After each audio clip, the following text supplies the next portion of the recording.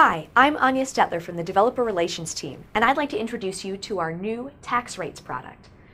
Tax Rates provides a completely free access to a comprehensive set of United States sales tax rates, with continual updates to tax rates and jurisdiction boundaries.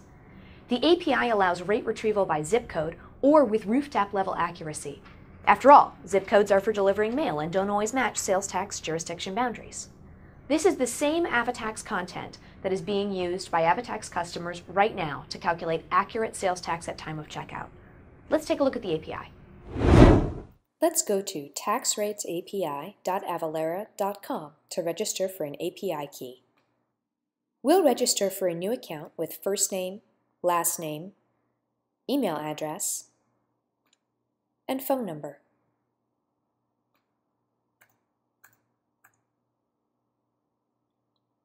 We'll accept the terms of conditions and go ahead to create an account.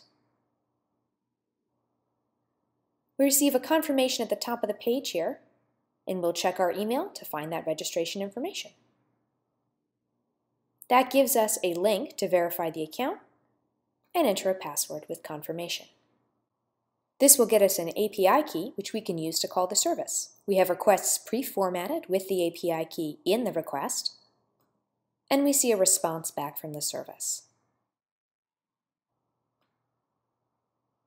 Looking at the documentation gives us more detail on how to send our API key as an authorization header, as well as the additional query params, response format, possible troubleshooting. As you can see, the API is great for getting started quickly and easily, making it perfect for prototyping, as well as for fully fledged e-commerce integrations. We're interested to see what you can do with this API, so let us know. We're on Twitter and GitHub, and of course we're at our developer community site.